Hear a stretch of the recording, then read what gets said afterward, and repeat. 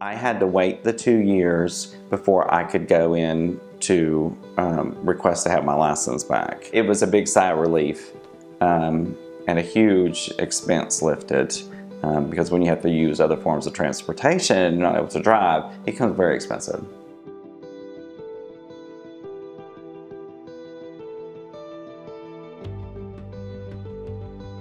Um, I called, set up an appointment. It was very quickly, I think it was even that same week. Um, everyone was very professional. Um, they were very knowledgeable. I met with um, James and the team and everyone. I gave them all the documentation. I told them what the story was, and then they just went into action and we got it, you know, um, the process started.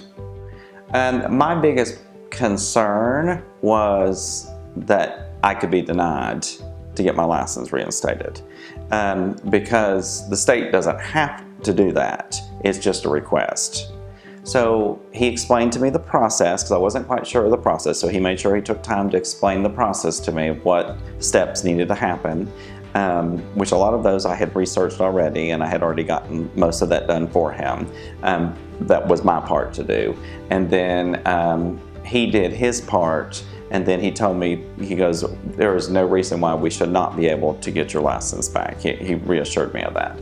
Um, so I felt very confident in their skill set here at Minick Law. So, but we followed all the steps that the law needed. Um, James said we'd taken care of everything. Everything on my end I was taken care of. Everything was submitted. I mean, I think within 60 days we had our first hearing and then we were awarded right there on the spot. So the Minick Law team is very professional. Um, every time I called, it, whether I dropped something off, um, they're always very responsive within 24 hours.